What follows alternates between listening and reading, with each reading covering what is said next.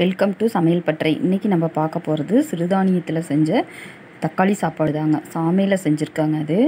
வீடியோக்குள்ளே போகிறதுக்கு முன்னாடி எங்கள் சேனலை சப்ஸ்கிரைப் பண்ணாதவங்க சப்ஸ்கிரைப் பண்ணிக்கோங்க. பெல் பட்டன் அழுத்துங்க. அப்போ தான் அடுத்தடுத்த வீடியோ உங்களுக்கு நோட்டிஃபிகேஷன் வரும். இது மண் பாத்திரத்தில் தாங்க நான் செய்ய போகிறேன் இதில் ரெண்டு ஸ்பூன் நெய் விட்டுக்கோங்க. பட்டை ரெண்டு கிராம்பு பிரிஞ்சி இலை ரெண்டு சேர்த்துக்கோங்க. பொரிஞ்சதுக்கப்புறம் நீல வாக்கில் அரிஞ்ச ஒரு பெரிய வெங்காயம் சேர்த்துக்கோங்க.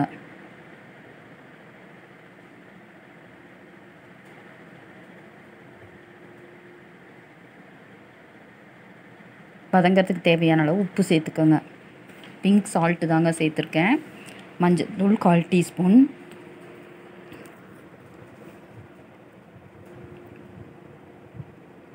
இஞ்சி பூண்டு பேஸ்ட்டு ஒரு டீஸ்பூன் சேர்த்துக்கோங்க.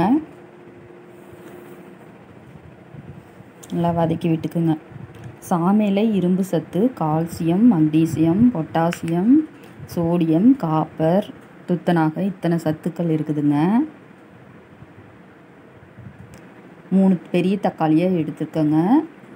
ஒரு பச்சை மிளகாய் இதை அரைச்சிக்கலாங்க.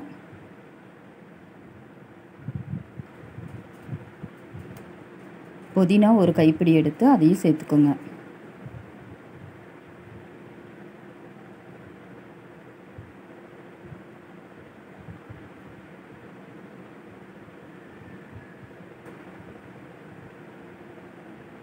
தக்காளி விழுதை சேர்த்துடலாங்க. இது நல்லா ட்ரை ஆகிற வரைக்கும் வதக்கிக்குங்க. இதில் ஃபோலிக் ஆசிட் இருக்குதுங்க.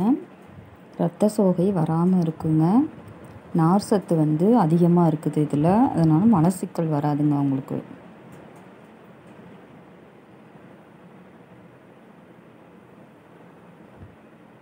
மனச்சோர்வையும் போக்குங்க. சர்க்கரையை வந்து கட்டுப்பாட்டில் வைக்குங்க. அரை ஸ்பூன் மிளகாத்தூள் சேர்த்துக்கலாங்க. அரை ஸ்பூன் கரம் மசாலா. கால் ஸ்பூன் மிளகுத்தூள். பிங்க் சால்ட் தேவையான அளவு சேர்த்துக்கோங்க. நல்லா பச்சை வாசனை போகிற அளவுக்கு நல்லா வதக்கிக்குங்க. இதில் புரதம் அதிகமாக இருக்குதுங்க. மனச்சோர்வையும் போக்குங்க அது. தண்ணி ஒரு டம்ளருக்கு ஒன்றரை டம்ளர் தண்ணி வச்சுக்கோங்க. அதை கரெக்டாக இருக்கும். நல்லா கொதி வந்ததுக்கப்புறம் சாமை இப்படி தாங்க இருக்கும். இதை நல்லா ஒரு அரை மணி நேரம் ஊற வச்சுருக்கேங்க. ரெண்டு மூணு தடவை நல்லா கழுவிட்டு ஒரு அரை மணி நேரம் ஊற வச்சு வடிச்சுக்கோங்க. இதை நம்ம இப்போ நல்லா கொதி வந்ததுக்கப்புறம் சேர்த்துக்கலாங்க. நல்லா கலக்கி விட்டுட்டு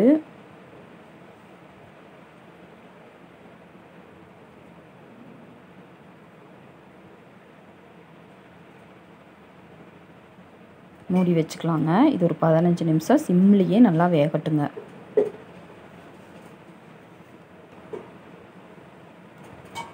பாருங்கள் நல்லா வெந்துருச்சு. மண்பானையில் வைக்கிறதுனால இப்போ நான் கரெக்டாக ஆஃப் பண்ணிக்கிறேங்க இந்த ஸ்டேஜில் இது வந்து ஒரு பத்து நிமிஷத்தில் நல்லா உதிரி உதிரியாக ஆயிருங்க. அந்த சூட்டுக்கே ஹீட்டு அதிகமாக இருக்கும் மண்பானை. அதனால் உங்களுக்கு இப்போயே நான் ஆஃப் பண்ணிக்கிறேங்க. மூடி வச்சு ஒரு பத்து நிமிஷம் இருந்தால் நல்லா உதிரி உதிரியாக இருக்குங்க. இந்த மாதிரி இருக்குங்க.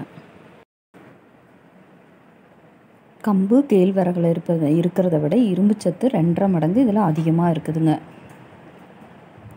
ஒரு முறை செஞ்சு பாருங்கள் எப்படி இருந்துச்சுன்னு கமெண்ட்ஸில் சொல்லுங்கள்